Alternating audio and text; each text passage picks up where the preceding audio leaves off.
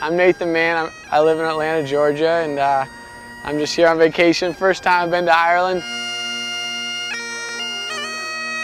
And getting to see the Cliffs of Moher in the background and got to take my bagpipes with me, so I decided to play a little bit on the cliffs.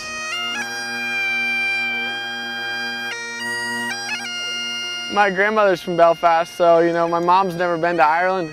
She's half Irish, so this is uh, kind of a special moment for myself. I kind of think of my mom.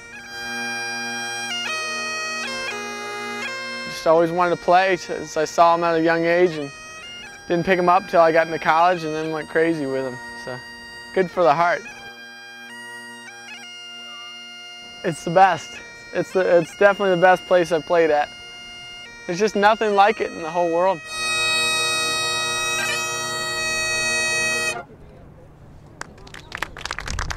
Thank you guys.